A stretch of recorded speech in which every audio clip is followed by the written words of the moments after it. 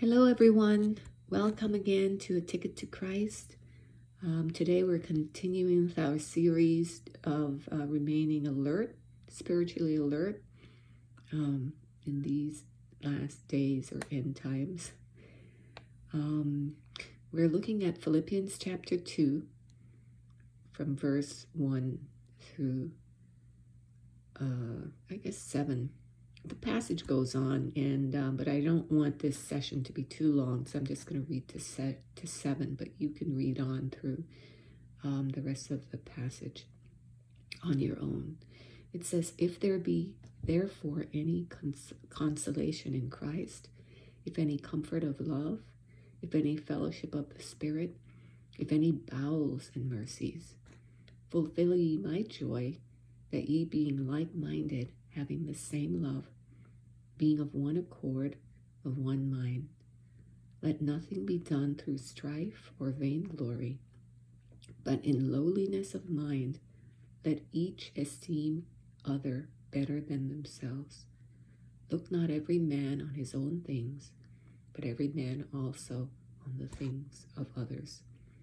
Let this mind be in you, which was also in Christ Jesus who being in the form of God, thought it, thought it not robbery to be equal with God, but made himself of no reputation, and took upon himself the form of a servant, and was made in the likeness of man.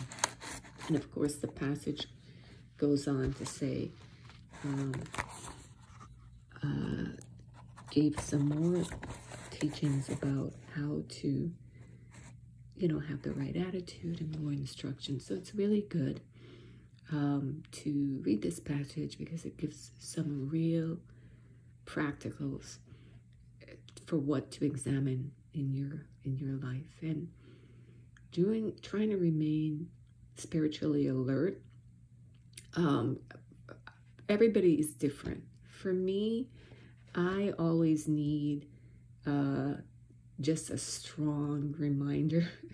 I I'm um, someone who it can't be. It has to be a revelation through the Word. It has to be uh, clear and straight from the Word. It can't be puffy and loosey goosey in terms of getting direction because uh, that that just doesn't inspire me. Doesn't work. It kind of bounces off. So it needs to be something that from the Word of God cuts to the heart. And the neat thing about the Word of God and the revelation of God, it brings you to a godly sorrow. It doesn't make you feel beaten up or put down. It's not coming from a place where somebody is putting you down or making you feel lower than.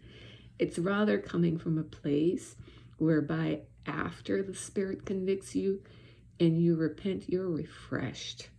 And so you're not left feeling um, uh, that, you know, like when somebody is talking to you and they're putting you down, um, but they're coming from a bad place. That's not what the Word of God does.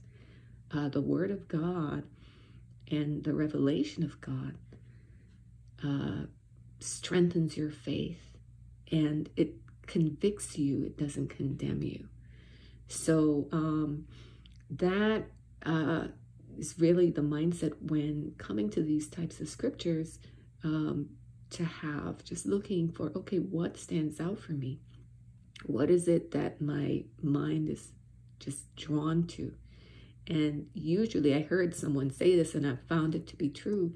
Usually, when you read a passage, the thing that your mind is drawn to, that's the thing God wants you to focus on. So for me, when I read this passage, I was drawn to let nothing be done through strife or vainglory, but in lowliness of mind, let each esteem other better than themselves. Look not every man on his own things, but every man also on the things of others. And the reason being, it's uh, usually, you know, when interacting, say, on my job or with people in the world, I always have to remember to keep a mindset uh, that is not going to be sucked into strife or vanity. And I had an incident actually the other day at work whereby, you know, I was tempted to, to, to think, uh, or I found myself starting to, to, to, in my mind say, oh, well, I'm going to show them because this girl is very nasty to me. I'm going to show them by, you know, just being so excellent at what I do. And, you know, that's just going to show her that I'm not bothered or whatever. But um, the motive wasn't pure I in reflection and I, I feel like God led me through this passage to show me wait a minute that's not the motive for what you do it shouldn't be to show anyone anything or show anybody up. It should be you know remember you know to keep your mind set on me. Remember to not look only to your own interests but also to the interests of others. Because it's very easy to when somebody's being nasty to start thinking, well, they're the problem. But what I've been learning is, yeah, they might be the problem, but it's a good opportunity for me to really grow in my own humility, in being kind and showing mercy and compassion, and in developing the attitude and conduct of Jesus Christ. Because it's showing us the attitude and conduct Jesus had toward us. So while we were still sinners, while we were still uh, disobedient to God and rebellious, God came on this planet through Christ and had an attitude of humility, meekness, and servitude. And uh, Jesus uh, was uh, wise and strong. He wasn't a weak man, but uh, he, God, there is no pride at all in God. God is pure light. There is nothing, not even a hint of any kind of a darkness or ego in God. And so to walk in fellowship with God, we can't carry any kind of an ego, pride, um, vain imaginings, uh, self narcissistic tendencies, or focus on me, me, me, me, me. And so this passage really, I think, ministers and helps with focusing on the attitude, the internal attitude that we carry in our walk with Christ. A lot of times it's not so much what we do, but the attitude behind it, the internal workings of our imaginations, how we think, how we view others. Sometimes we're able to, to when we've learned this, through socializing how to react and respond in the right way, but inside seething or inside having that resistance or um, and these can show themselves in subtle ways. And so really bringing our lives before God and asking the Lord, Father, internally, when you look at my internal workings, when you look at how I view people, life from what you see me think on and focus on, is my life pleasing to you? Is, uh, is there anything inside of me, in the internal workings of my being, that you're not pleased with, that is not in unity with who you are?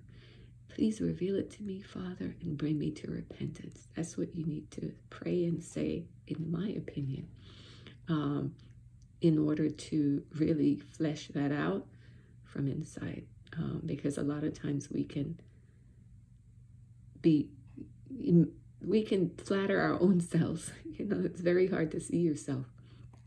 And so taking nothing for granted just as we talked about in matthew 25 the foolish virgins made assumptions.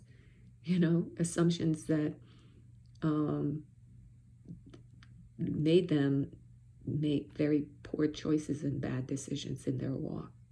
Turned out they never knew the bridegroom, or the bridegroom never knew knew them.